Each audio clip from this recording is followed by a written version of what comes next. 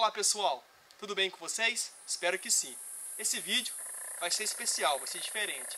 Mais que um vídeo, um convite.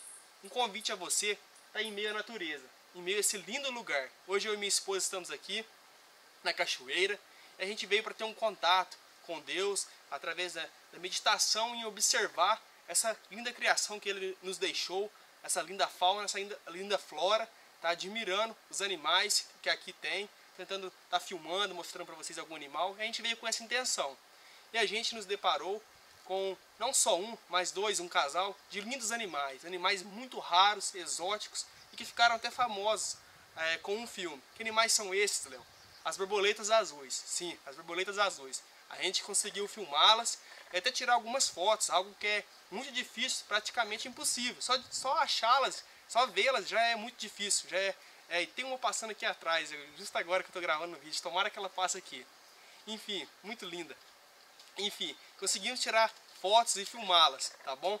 E eu vou estar tá, é, mostrando para vocês o quanto linda é essa natureza. Mas não só isso, esse vídeo quero que seja um convite para você estar tá saindo desse Matrix, desligando dele e estando mais próximo de Deus, através da natureza, essa criação que Ele nos deixou. É muito bom, pessoal, estar tá em meio a essa beleza está meditando em meio à natureza, meditando em observar tudo isso, em escutar o som dos animais, está é, conectado com Deus através da natureza. É muito bom isso, faz muito, muito, bom, muito bem para a gente e isso vai ser muito bom para você. Vamos nos preocupar mais com esse bem maravilhoso que Deus nos deixou e que vem acabando através de queimadas, através das caças ilegais, da desmatação dela e que ninguém se preocupa, ninguém liga para isso. Então, eu quero que vocês do canal Ideal Alternativo, vocês que pensam diferente, se preocupem mais com isso. Vamos preservar esse local, vamos brigar por ele, para que nossos netos, para que nossos filhos possam também contemplar esse lindo lugar. E faço um convite para você, saia de sua casa, procure um mato, um lugar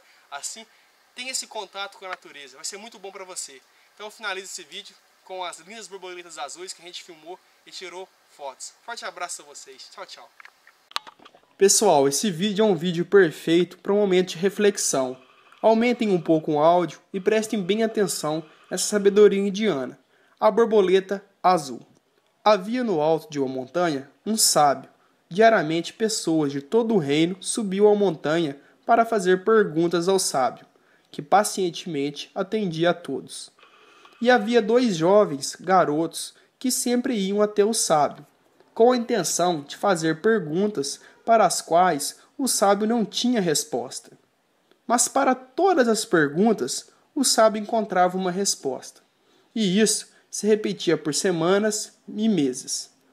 Impacientes com o sábio, os garotos resolveram inventar uma pergunta que ele não saberia responder. Então, um deles apareceu com uma linda borboleta azul que usaria para pregar uma peça no sábio. O que vai fazer? perguntou o outro garoto. Vou esconder a borboleta em minhas mãos e perguntar se ela está viva ou morta. Se o sábio disser que ela está morta, vou abrir minhas mãos e deixá-la voar. Mas se ele disser que ela está viva, vou apertá-la e esmagá-la. E assim, qualquer resposta que o sábio nos der estará errada. Os dois garotos foram então ao encontro do sábio, que estava meditando. Ao chegar, o garoto logo disse: tenho aqui em minhas mãos uma borboleta azul. Diga-me, sábio, ela está viva ou morta? Calmamente o sábio sorriu e respondeu: Depende de você. Ela está em suas mãos. E assim é a nossa vida, pessoal. Nosso presente e nosso futuro. Nós somos os responsáveis por tudo isso. Nossa vida está em nossas mãos, como uma borboleta. Cabe a nós escolher o que fazer com ela.